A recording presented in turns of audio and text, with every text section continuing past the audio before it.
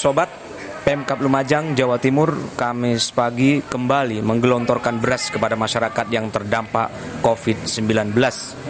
Ada sekitar 320.634 KK penerima bantuan beras tersebut. Menurut Bupati Lumajang, Torikul Haq, data bantuan ini mulai dari PKH, bantuan sosial tunai, dan BLT dana desa dan ngeramut tonggo dan lainnya.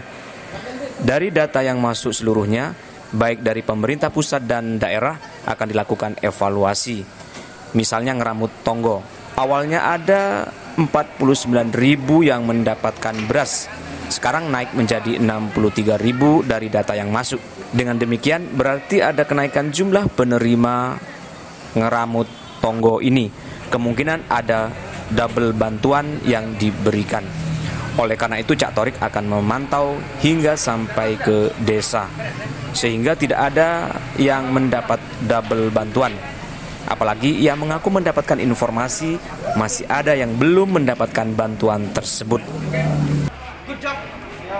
Total yang 320.634 ini dari jumlah kakak yang ada di Kabupaten Lumajang ini 321.637. Artinya ada persentase yang sekitar 90% lebih. Ini akan terus kami evaluasi. Dari data yang masuk kepada kami, mulai dari seluruh bantuan dari Kementerian Sosial, dari Kementerian Desa, dari Pemkap melalui Ngeramut Tonggo, tentu kami akan terus lakukan evaluasi. Misalnya, Ngeramut Tonggo yang di tahap pertama dulu ada 49 ribu yang mendapatkan beras.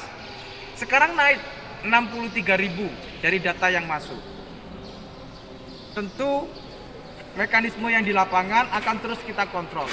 Walaupun dari asumsi data ini memungkinkan ada yang mendapatkan double bantuan.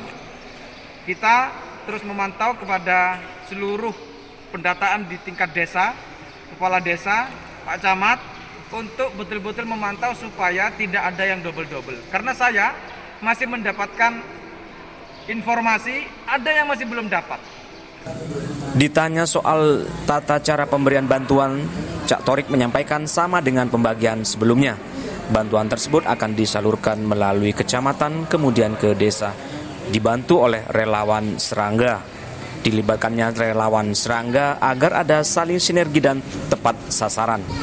Uh, sama dengan mekanisme yang pertama, nanti ada uh, bantuan yang diserahkan melalui uh, kecamatan, kemudian uh, ke desa, dan akan dibantu oleh relawan serangga. Kenapa ini melibatkan teman-teman relawan?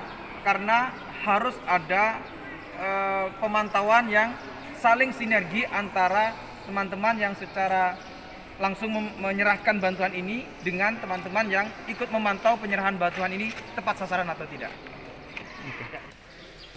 Usai meninjau lokasi beras ngeramut Tonggo di Gor Wira Bakti, Cak Torik kemudian memberangkatkan secara simbolis kendaraan yang mengangkut beras ke beberapa kecamatan di Lumajang. Kebersamaan pemerintah dengan masyarakat, sedekah beras ngeramut Tonggo tahap kedua siang hari ini secara resmi saya berangkatkan.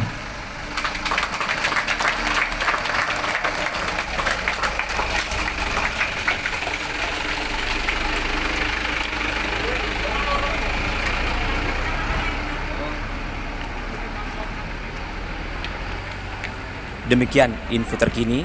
Selamat sore. Salam TV Wiraraja.